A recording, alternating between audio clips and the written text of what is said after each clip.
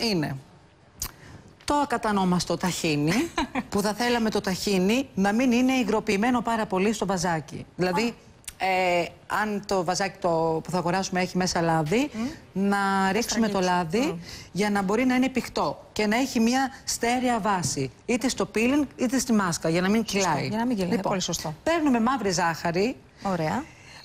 ε, και μπορούμε να πάρουμε μαύρη ζάχαρη που είναι Μ' αρέσει πολύ η μυρωδιά. όχι της. τόσο πετρώδης, απλά να, να είναι ρευστή. Και είναι και πολύ υγιεινή η μαύρη ζάχαρη και μπαίνει Ναι. και σε. Εσύ μαγειρεύεις και καταπληκτικά. Τώρα για να είμαι ειλικρινής, εγώ θα ήθελα να μου ανοίξεις ένα φύλλο εδώ, αλλά τέλος πάντων. Στην επόμενη φορά που θα έρθεις, θα είσαι οργανωμένη να ανοίξουμε Αν φύλλο. έχει κουζίνα, εγώ θα κάνω την πιο εύκολη πίτα Τέλεια.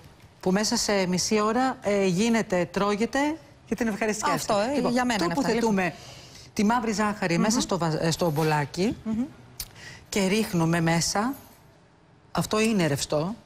Ταχύνει. Τόσο είναι αρκετό ή χρειάζεται να είναι λίγο πιο. Ε, να πηχτό; γίνει ένα μείγμα στέρεο, ώστε να μην κυλάει από τα, απ' τα χέρια. Α, βοηθάει και η ζάχαρη όμως, ε, λίγο να το κρατήσει έτσι ναι, σφιχτό. η ζάχαρη βοηθάει πάρα πολύ στο peeling, το ότι είναι... Ε, Αυτή η συνταγή είναι της γιαγιάς σου. ναι, αλλά δεν έβαζε μαύρη ζάχαρη. Ναι, ε, γενικά ήταν κοκέτα όμως, φαντάζομαι. Έτσι, για να μπαίνει στη διαδικασία να, φτιάξει, να φτιάχνει κρέμες και τέτοια, ήταν κοκέτα. Δεν μπορώ να πω ότι ήταν κοκέτα, Α. ε, αλλά ήταν μια γυναίκα που ήξερε κάποια πέντε μυστικά, βασικά μυστικά για να το... Να σου πω την έχεις εικόνα. Εγώ έχω πολλές εικόνες, ξέρεις. Όταν είσαι μικρός, όλα σου φαίνονται πολύ Μεγάλωσα περίεργα. με τη γιαγιά μου. Μμ. Οπότε έχεις πολλές εικόνες. Πάρα πολλές. Μυρωδιές. Και είχε και ωραίο όνομα. Πώς; Νίκη. Νίκη. Τι ωραία. Πολύ συμβολικό όνομα. Λοιπόν, εδώ έχουμε φτιάξει το peeling. Ε, τοποθετούμε... αυτό; Τι είναι; Α, θα σου πω. Περίεργη. Λοιπόν, ε, έχουμε φτιάξει τώρα το peeling. Ναι.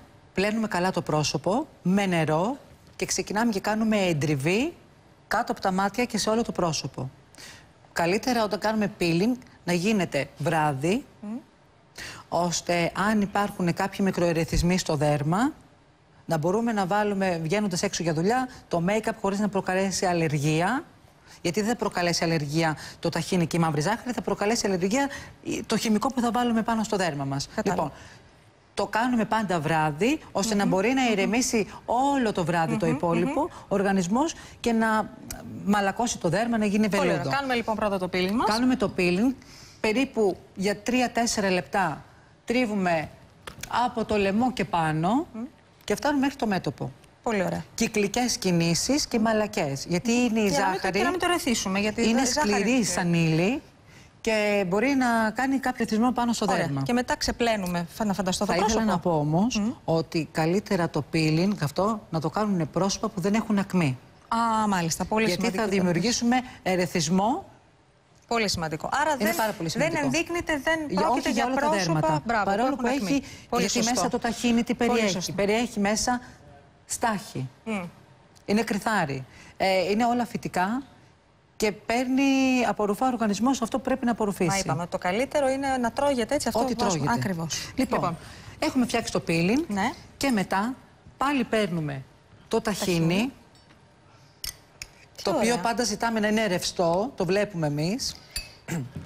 Σκέψου τι ωραία που θα είναι και η υφή και, και η μυρωδιά, γιατί θα σου αφήνει και μια ωραία μυρωδιά, ε, στο Αφήνει πρόσωπο. μια μυρωδιά. Σαν λόγω- ζαχαρωτό θα μυρίζεις Ναι, μετά. είναι ωραίο. Ε. είναι ωραίο.